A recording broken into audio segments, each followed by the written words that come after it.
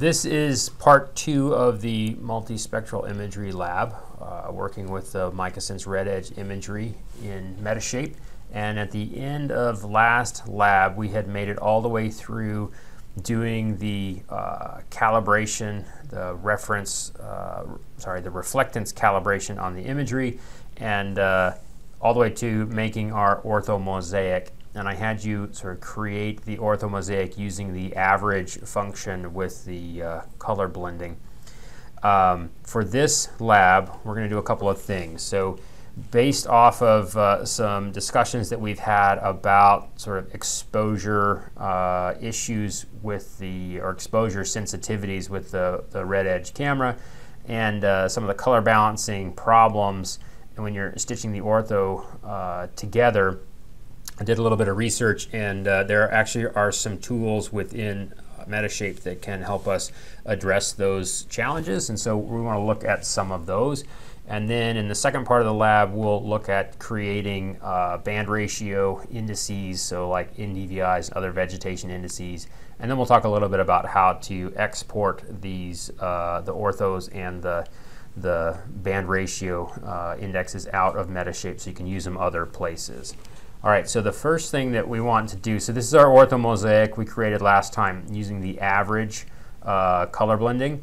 And uh, you know, we've still got some areas that are maybe blown out a little bit uh, with color, but otherwise it, uh, it, it, looks pretty, looks all right. Um, I'm going to go ahead and duplicate this. And uh, we're going to remake this ortho mosaic using the mosaic color blending. Okay, so we will uh, rename this one to ortho mosaic uh, average.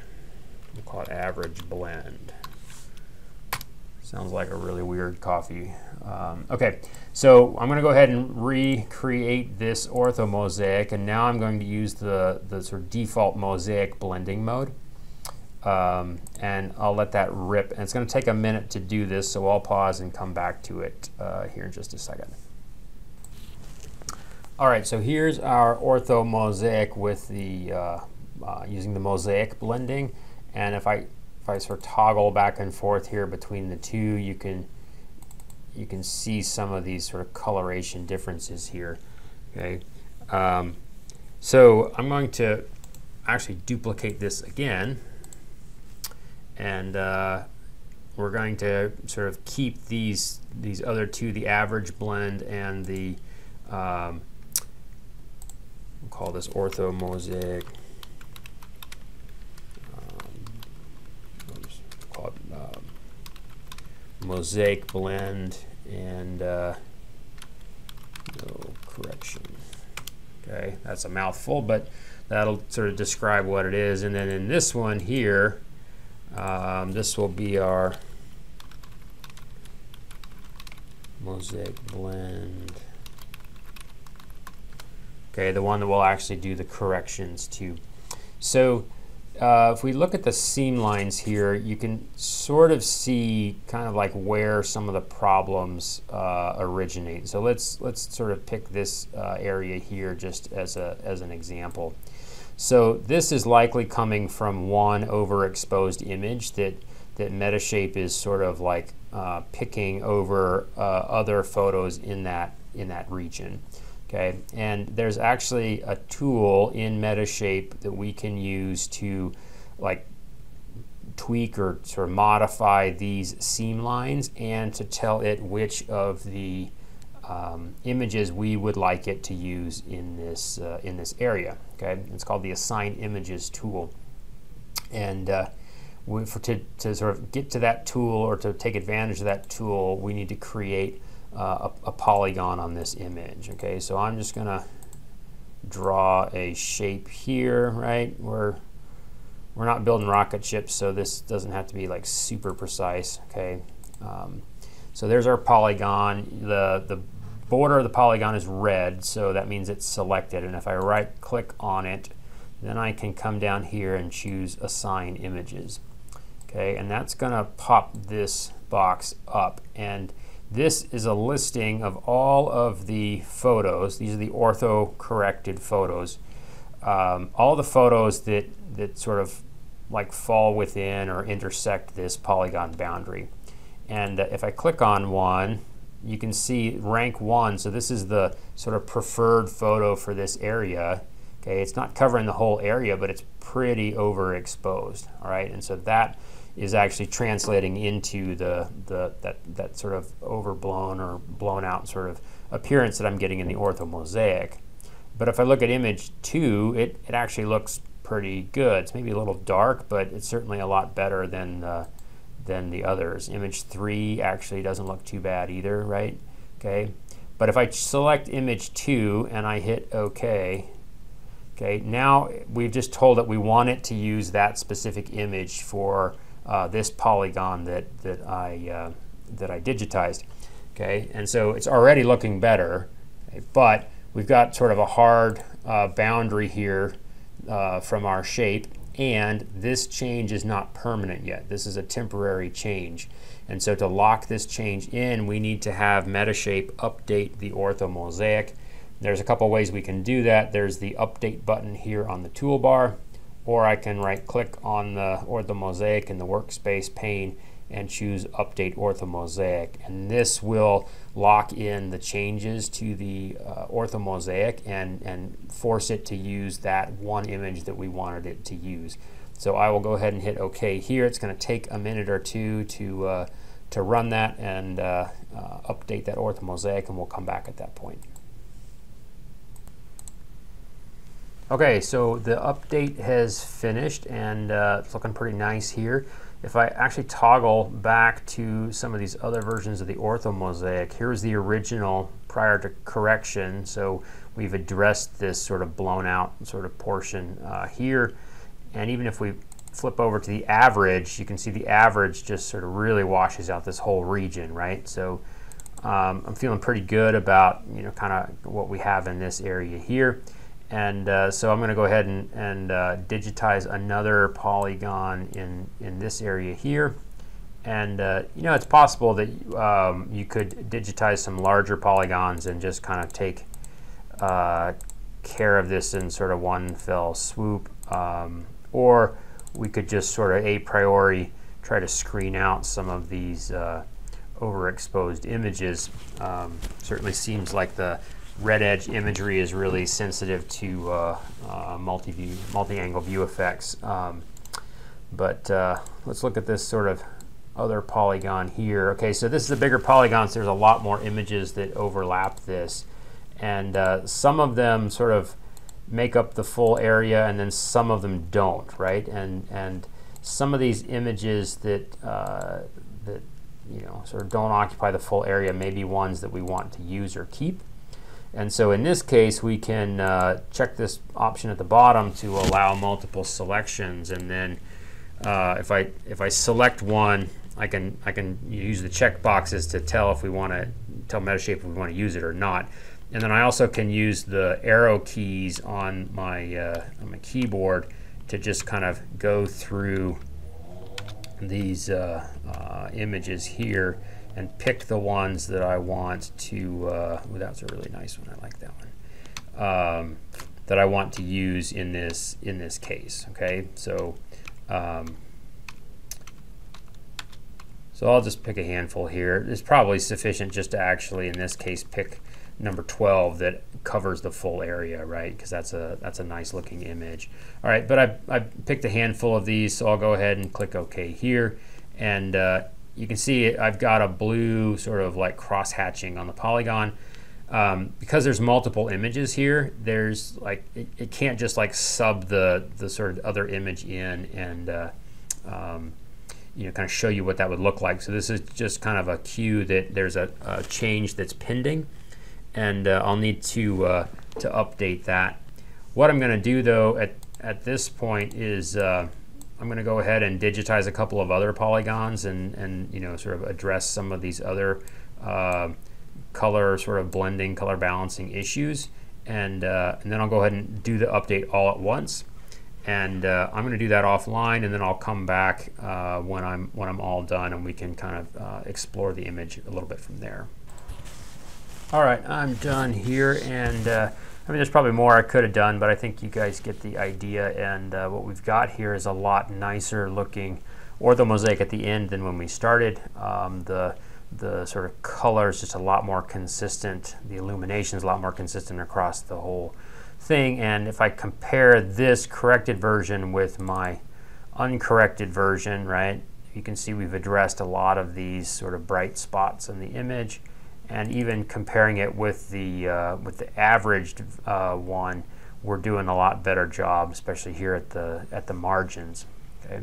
The reason that we needed to use the mosaic uh, blend mode for this rather than the average blend has to do with um, what Metashape is doing with the uh, with the assigned images. And so with Mosaic, it's just going to pick the best image um, or the single image that sort of fits within these uh, uh, within these seamline polygons.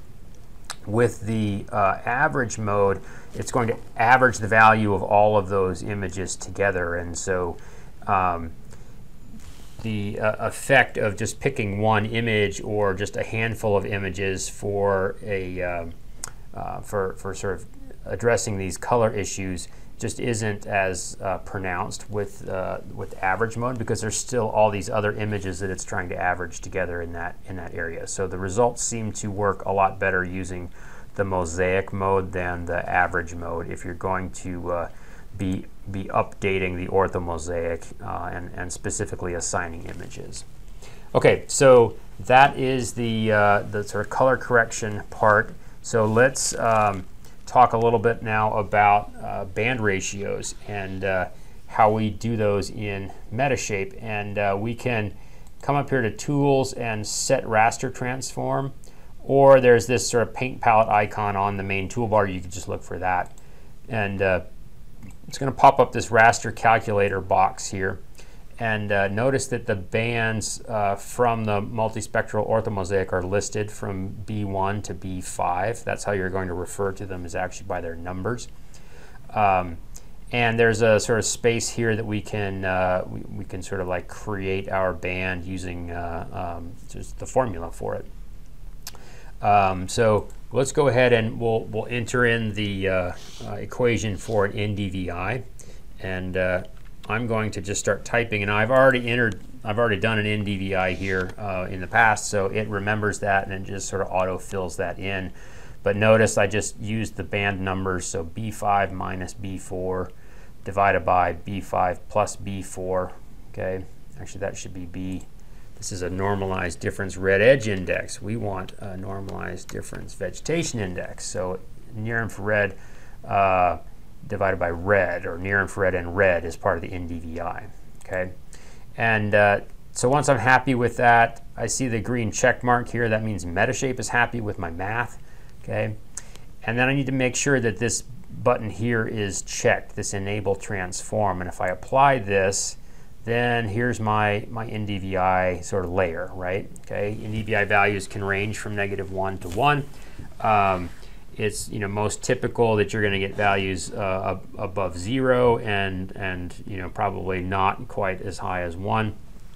Um, important point here is that uh, Metashape has not actually changed anything relative to this orthomosaic. It's just showing us a different view of the orthomosaic that's defined by this formula. Okay, so I can uncheck this box and apply that, and I get my original uh, orthomosaic back. Okay, so these are just transformations. It's just a different way of displaying the orthomosaic data.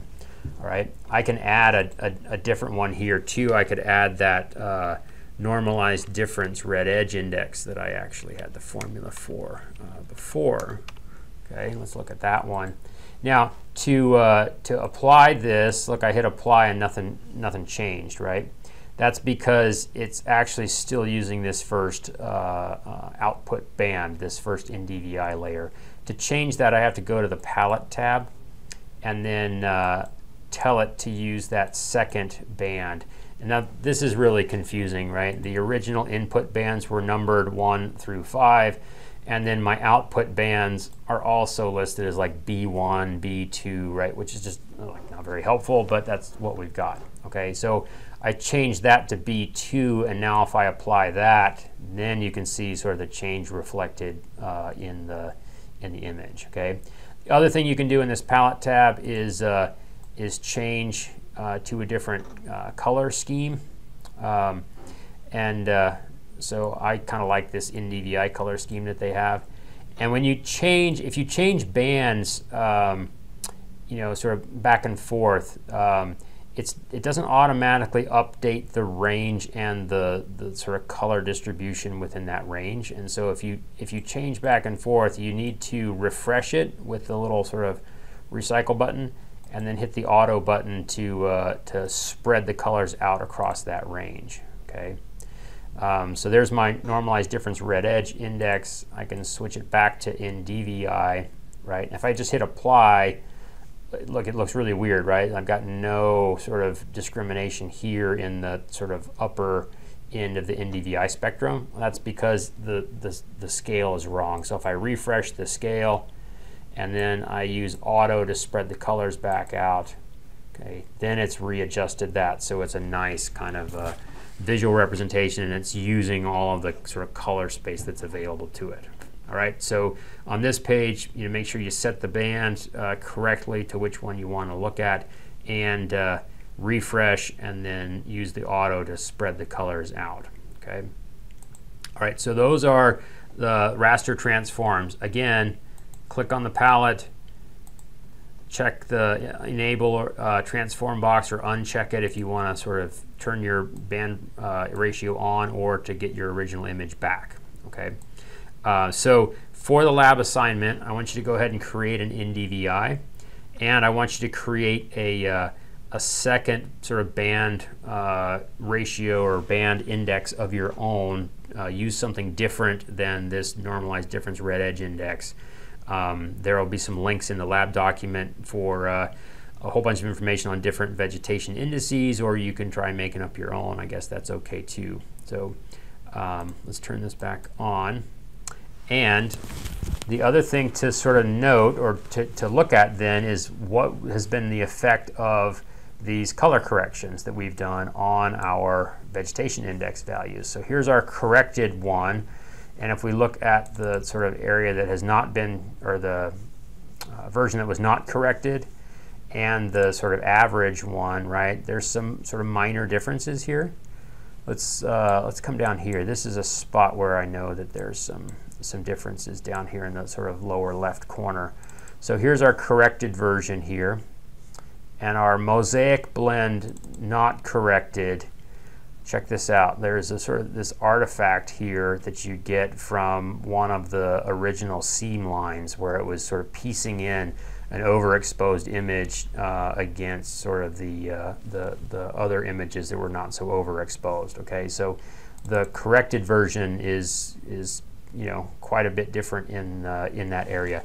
So one of the last steps for the lab assignment is, uh, you know, zoom in, find an area where you're, you've done the color correction, and then give me a screenshot of the corrected and the uncorrected uh, version for that area, and then we'll, uh, we'll, we'll use some of the lab questions uh, in the write-up to kind of look at what the differences are between those.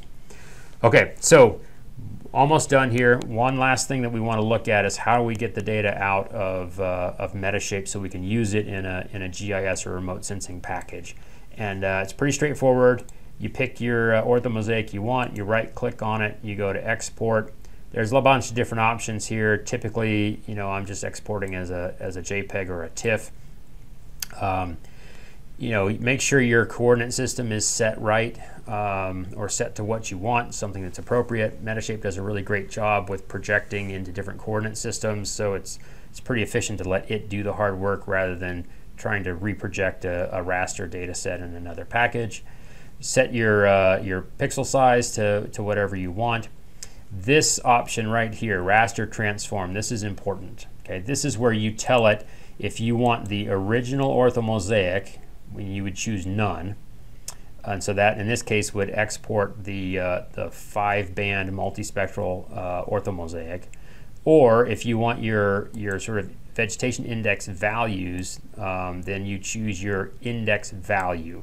And that, in this case, for our NDVI, would give us the actual, like, you know, negative 1 to 1 uh, values for that, okay?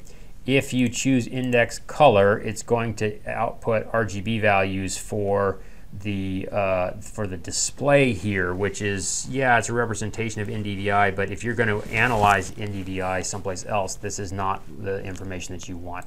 So make sure you choose index value.